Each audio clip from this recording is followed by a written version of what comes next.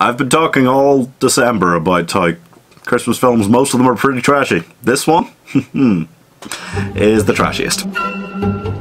And yet, and yet, uh, most of the time, doing these, I do feel kind of like a proper reviewer in some ways. I mean, yeah, some, some ways. But on this one, I throw everything out of the window. I do, because I love romantic comedies, okay?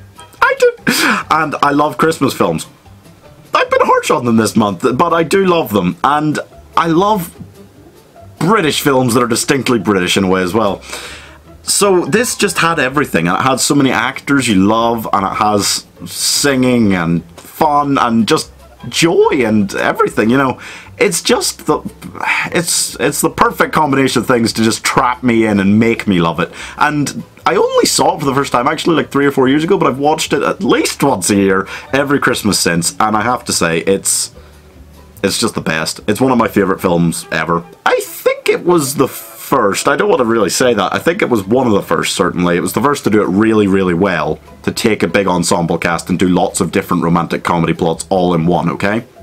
That was joyful. It did so many of them so well.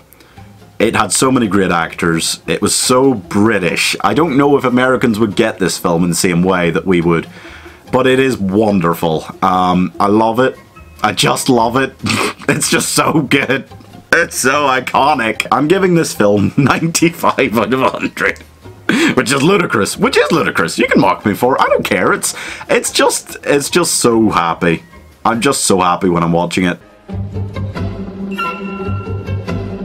Even the sad parts, I'm so happy. It's so good. Fuck you.